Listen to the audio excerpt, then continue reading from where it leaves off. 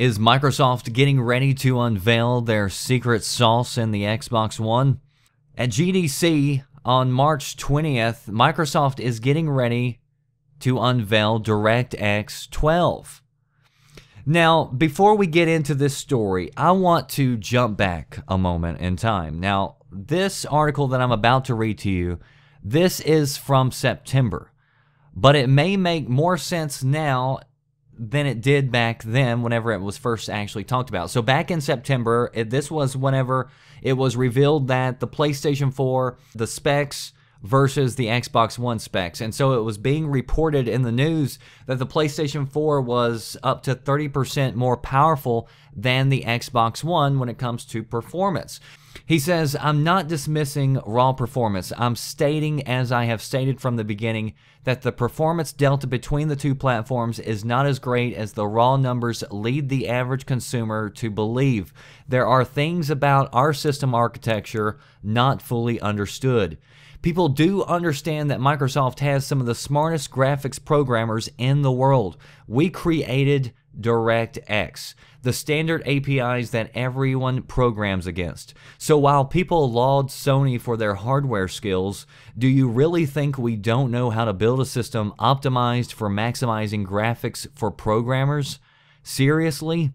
There is no way we're giving up 30% plus advantage to Sony. I'm not saying they haven't built a good system. I'm merely saying that anyone who wants to die on their sword over this 30% plus power advantage is going to be fighting an uphill battle over the next 10 years. He closed by saying, I'm stating that not everyone knows all the facts. There are still a lot of important details about the platforms that are still unknown. Notice how he said we created DirectX, and he brought that up. A brief history lesson about the Xbox is that the original Xbox was going to be called DirectX Box. Now, when it was first mentioned by Microsoft that there was a DirectX 12 that was going to be revealed, a lot of people said, look, Xbox fans, don't get excited because it's not going to affect the Xbox One because you'll need new hardware. And because the Xbox One is already out on store shelves, it's running on DirectX 11. You're not going to be able to use DirectX 12. And it did seem like these these people got a boost because Microsoft put out a graphic displaying the operating programs and the companies that were behind DirectX 12 or working with them. And the Xbox One wasn't on the graphic. But the other night, they updated the graphic. And now there is an Xbox One logo. And on top of that, they did start a brand new Twitter account. They've sent out a couple of tweets so far. The first one said, Rumors of our demise have been greatly exaggerated. And the second one said, Game on Xbox One. So do we. Find out more at GDC. So it does appear that the Xbox One is going to be taking advantage of DirectX 12. Now, of course, the Debbie Downers have already said that, well, that must mean that DirectX 12 isn't that big of a jump from DirectX 11 uh, because they said it must mean that you can just simply upgrade it.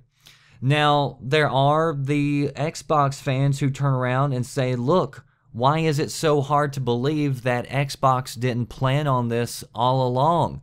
Maybe that's the reason uh, news reports were coming out that Microsoft had put in $3 billion into their research and development program for the GPU. And it was originally rumored that the Xbox One was supposed to originally release in 2014, which would explain why Microsoft has been behind and playing catch up this whole time. And it might also explain why all the Microsoft people have been saying, look, you just don't understand it and we can't explain it just yet because they were waiting on DirectX 12 to be finalized and maybe the Xbox One was built with this in mind. And they couldn't talk about it until DirectX 12 was ready to be revealed. And then that might also makes sense as to why Microsoft made the hardware decisions they made, like going with ESRAM.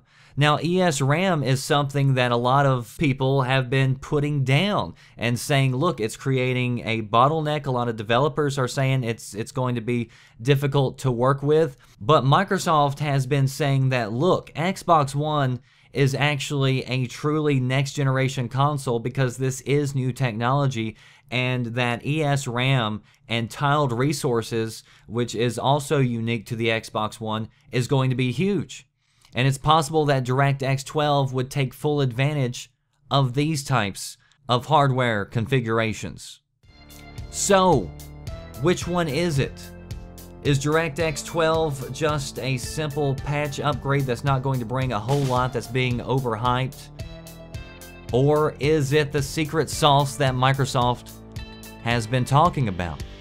The truth is, we won't know until GDC but it is going to be something I'm definitely going to be keeping an eye on. So that's why you should subscribe uh, for all your gaming news and information. Also, check out VGN. All the important links down in the description box.